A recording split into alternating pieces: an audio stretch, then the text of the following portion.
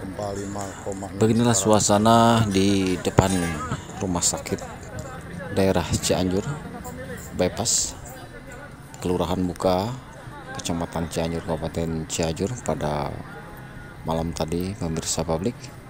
Senin malam Selasa Ini 21 situasi November.